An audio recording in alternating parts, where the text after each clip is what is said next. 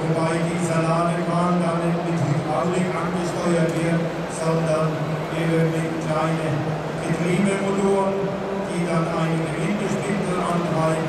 Und so hat er hier die Möglichkeit mit seinem Greifer jetzt die Holzstöcke dann zu verladen.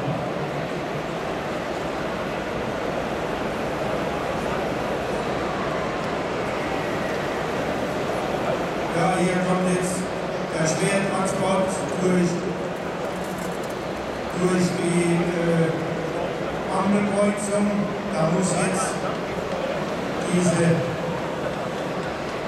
Kesselbrücke hydraulisch abgelassen werden, dass er unter der Ampel hindurchkommt.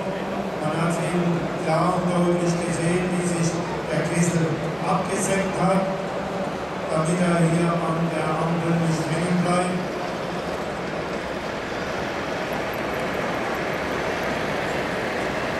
So, er jetzt wieder zurückgestellt aus seinem Parkplatz und dann haben wir diese Schwerlastfahrt hier in der Natur bravourös gemeistert. Ja, und der Kollege nochmal mit seinem Raumenkran hat jetzt diese Röhre mit 38 Kilo am Haken. Er hatte auch noch den Spezialtransporter hier, diese Zugmaschine, 15 Kilo. Der Anhänger, dieser Tieflader ebenfalls 15 Kilo, dann 38 Kilo diese Röhre. Und gestern hat er es dann Publikum mal so richtig gezeigt.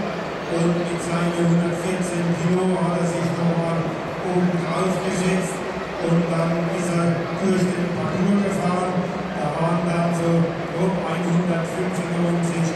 Kilo Zugewicht für seine Fahrzugmaschine.